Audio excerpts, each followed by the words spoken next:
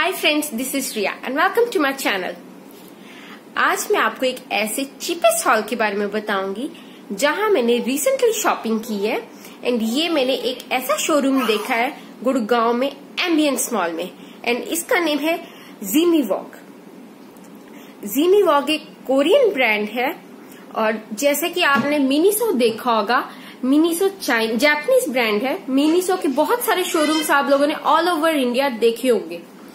तो ये मैंने आज जीमी वोक का शोरूम देखा है एम्बियंस मॉल में, और मैं आपको वो सब दिखाऊँगी, मैंने क्या कुछ शॉप किया तो चलिए, देख लेते हैं क्या कुछ लिया है मैंने वहाँ से। सबसे पहले आता है ये क्यूट सा pillow see it's so cute so fluffy so soft I love this pillow ये मैंने एक्चुअली अपने बेबी के लिए परचेज किया है। As a toy as a pillow मुझे जिस तरह से यूज़ करना वो कर सकती है। इसके ऊपर ड्रीम लिखा है बहुत क्यूट लगा मेरे को, बहुत सॉफ्ट एंड बहुत प्यारा शेड है इसका। ये मेरे को पड़ा है 475 का। See it's so big so amazing I am loving this अब मैं आपको नेक्स्ट वन दिखाऊँगी। नेक्स्ट मैंने लिया है ये क्यूट सा पर्पल कलर का hair brush see how cute it is right ऐसे का सेम हेयर ब्रश एक मैंने ब्लैक शेड में लिया था। बिल्कुल ऐसे के ही वहाँ पर भी ब्रिसल्स थे। वो मैंने मिनी सो से परचेज किया था। एंड इसका रेट 150 है। एंड उसका भी एग्जैक्ट रेट 150 था। बिल्कुल सेम पीस ब्लैक शेड देखो, जैसे ये पर्पल कलर का जीनी बॉक्स से लिया वैसे ये मैंने सेम मिनी सो से लिया था। क्वाइट सिमिलर राइट ब्रिसल्स इसके भी बहुत फाइन है और इसके भी बहुत फाइन है। Next product is this this is magnetic drawing board वैसे तो ये थ्री प्लस इयर्स का है, पर मेरा baby one and half year का I know she is very active baby और उसके लिए, उसे बिज़ी करने के लिए मैंने ये परचेज किया है एंड इट्स अमेजिंग ये मैं आपको दिखाती हूँ कैसे है?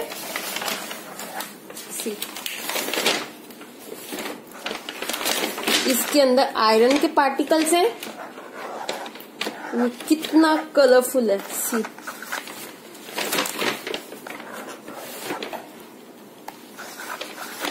इट्स रियली अमेजिंग ये किसी भी बेबी को बहुत इजीली इन्वॉल्व करके रखेगा अपने में और काफ़ी हद तक बेबी से इसके साथ खेलते रहेंगे। मेरे बेबी को तो ये बहुत पसंद आया। तो I am just loving this product and it cost for around two ninety rupees अब मेरा अगला प्रोडक्ट है ये.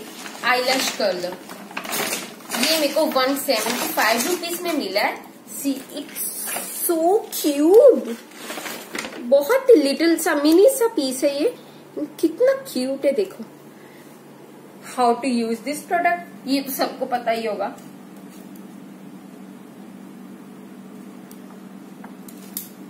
I mean so amazing white and pink shade अब नेक्स्ट प्रोडक्ट है ये. काफ़ी ब्राइट कलर है इसका ये ग्रीन बहुत अच्छा लगा ये हैंगिंग यहाँ कोई भी कीज की होल्डर की तरह से यूज़ कर सकते हो, ऐसा कुछ टांग सकते हो. इसकी जो ये छोटी सी पॉकेट्स है, इनके अंदर आप कुछ भी सामान रख सकते हो. मेरे को काफ़ी अच्छा लगा. एंड इसका प्राइस है two ninety five cotton swabs का बॉक्स है फोर हंड्रेड स्वैप्स और ये वन सेवेंटी फाइव में. काफ़ी अफोर्डेबल लगा मुझे. तो इसलिए मैंने ये परचेज कर लिया. मेरे को बहुत अफोर्डेबल लगा ये. नेक्स्ट वन है ये शेल्फ होल्डर मैंने इसे ओपन करके थोड़ा देख लिया. ये कैसे लगता है? अटैच करके देखा है इसे. ये 325 का है. वॉशरूम में शेल्फ होल्ड करने के लिए. ठीक लग रहा है मेरे को। बाकी इसके सेक्शन के ऊपर डिपेंड करता है, वो कितनी अच्छी होगी क्वालिटी या नहीं होगी।